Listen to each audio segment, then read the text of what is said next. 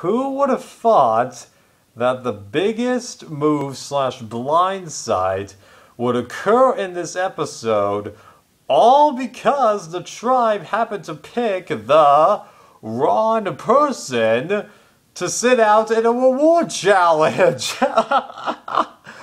when has someone sitting out of a challenge ever affected an episode or a season like this? Like that is really unprecedented.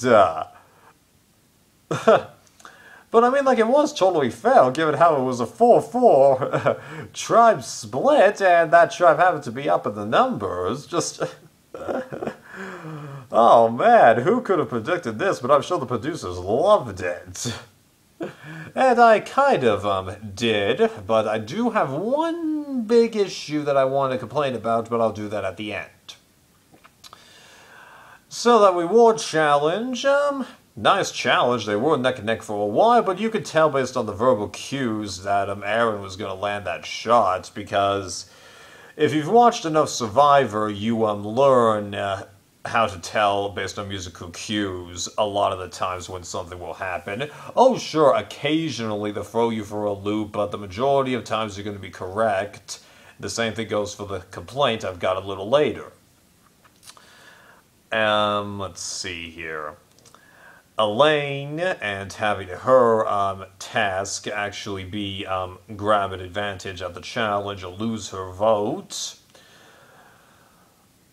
Yeah, it's a way of mixing things up, and I really do like how they're giving Rob and Sandra giving um, these newbies all kinds of different tasks. You've got memorization, you've got the stealth when it's not at a challenge, you got stealth at a challenge or you've got something that directly involves Rob and Sandra. Like, they're going all over the map here. This is really creative. Good job on production, along with Rob and Sandra throwing their own uh, twists in there. Sure, this time it wasn't an idol, but doesn't have to be an idol.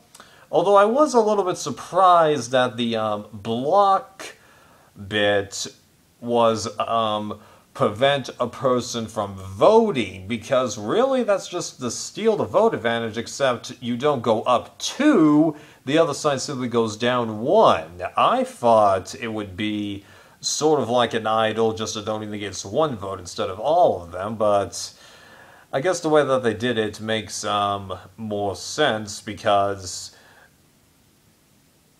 well this uh, in between makes a lot more sense than the idol in between thing that I uh, just explained to you. Hmm? Um, and then uh, Jamal and Jack's bit. That was rather touching because, as a uh, straight right male who isn't religious, but that's second best, um, I totally get how people that aren't part of that demographic, you know, feel so inferior. And, like, am I a victim of white privileges? Well, yeah, my parents have a lot of good, um, income. I coincidentally didn't have to worry about um, taking out loans when I was getting my bachelor's degree, though um, I'm probably going to have to do that if I go for a master's degree. There might be a loophole to that, but that that'll involve a couple years of my life. I won't explain to you what that is, that's way too personal.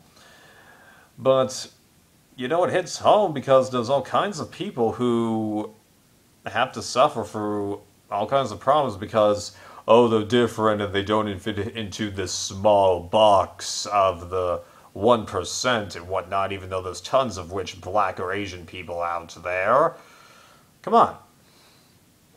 Just I do feel for him, and I was really impressed at how, while he was bothered by it, he expressed it in just such a way that really helped Jack open his eyes because Jack admitted in his confessional before Jamal started explaining this, he was just making a tiny joke. Uh, and it just failed. Uh, I mean, like, my dad will do that, but he only makes those jokes to people that he knows, and if it causes a problem, he'll apologize instantly, but totally different situation. And I'm real glad that those two were able to make amends, even though I could have sworn that the one tribe, the Vokai tribe, went to tribal council. They were on opposite ends of the vote. I could be wrong on that.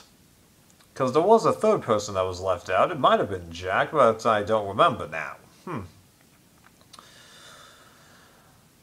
It's nice to see a personal moment like this that doesn't come up, and given how this cast is um, more diverse, although I haven't totally noticed that, because unlike Big Brother, Survivor makes a lot less of a big deal when there's a gay contestant on the show, because according to um, one of the articles I've been reading for Dalton Ross, it seems like there's three gay people on this season, and I uh, don't know who they are.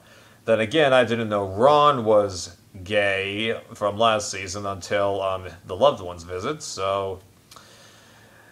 And then they didn't even mention that Jeff Varner was um, gay back in Australia. Now, back, even though I would not be surprised at all if he was out at that point, and I think Mitchell was gay too. Could be wrong, but hmm?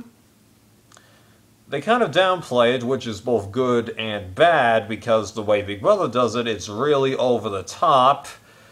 But here, they could be using that message like they did here, even though it's just between two people who actually were not at odds at all, and it just happened to be a bad moment. Hmm. But I'm glad that they were able to mend the fence, so if anything happens between them later, it's not going to be a problem. Right. Um, the immunity challenge, I actually was kind of surprised that um, Orange was able to catch up and get it, but I'm like, this is going to make things a lot more interesting. Let's see what um, Aaron and Missy are going to do, because like with um, Jason, I was under the impression that they were going to flip and turn on Elaine, even though, get this, Elaine wouldn't have gone anyway, because according to Jason, Aaron was actually the target. They were going to use the fact that he was flipping and then take him out, which I find to be really clever. They weren't really completely on board with him drawing rocks, but they had reached a level of confidence in the plan that they could easily bluff that, which is what they did at Tribal Council. But Elaine getting um, that um, vote block seemed to fully convince um, Aaron and Missy that they weren't um, going to uh, flip, although I do think that they were considering doing it for a while there, but I'd wager that when they get, went into tribal council, even though we had that of active whispering, I think they had decided that they were definitely going to um, vote out Jason. And this is the part of this episode that I hate. Not the fact that Jason left, I'm okay with this blind side, along with the fact that, because he had recovered enough in the standings with other people that they were over eh, the bad things that happened with him early on the season, which was good. And Jason even admitted he and Aaron are actually good friends. Uh, no hard feelings. And I really appreciate how, over the last few seasons, there's very little bad blood that's going on. People understand it's a game. That's nice. Uh, especially since it looks like a Jamal might actually um, go out in a nice way, at least based on where he's standing right now. But here's the thing that um, I don't get. Why on earth was everyone on tenterhooks as to who would be voted out when Jeff was pulling out the last vote? Even Sandra, she didn't know. Uh, do you got, uh, Sandra, did you not watch your own season? Because here's the thing, if Jeff has an odd number of votes, and then he pulls out enough votes back to back to back, or further than that, so where one contestant is one vote away from getting voted out and needs, at minimum, all but one of the remaining votes to be for another person to tie, or every single vote to be for another person in order to survive, and then he pulls out a vote for another person. odds are like 9 out of 10 that the remaining votes are for the person that has received the median vote, for lack of a better term. Sandra, this happened twice in your season. Candice, Rupert got three votes, she gets five. Danielle, Rupert gets three votes, Danielle gets four. Phillip gets five votes in Redemption Island. Mike gets six. Do you guys not watch the show? Honestly, like the moment Jason got the second vote, I didn't even need to really know what Missy and Aaron did. Nine times out of ten, they voted for Jason. Oh, yeah. And then once the third vote came out, I knew for sure it was him. Just. Ugh. Could you not have done two votes for Jason, three votes for Elaine, and then done the remaining votes for Jason? That would have made it so much more interesting. Or even better, Jason Elaine, Jason Elaine, Jason Elaine. Eh? Because that's what you did when Cliff was booted, although you saved the last two votes for him. At the end, just, uh, come on. Why were you guys surprised? I get it, you're out there, you're not thinking with a clear head. But, as a fan, well, super fan technically, especially now that I've seen literally every episode of the American version now, and I even rewatched HVV, that was underwhelming, because they had given it away. Right. Though Rob does make a good point, suck it up, Buttercup, because he's been on um, the receiving and initiating end of blind signs like this. He stabs it to Lex, and then Jerri um, stabs it to him. He knew that Jerri had flipped on him when he walked into that tribal council because you know noted, and he was way more angry at Coach because Jerri gets up to hugs him, he hugs her with no problem. Coach tries to hug him. You're a little man. Hmm? Right.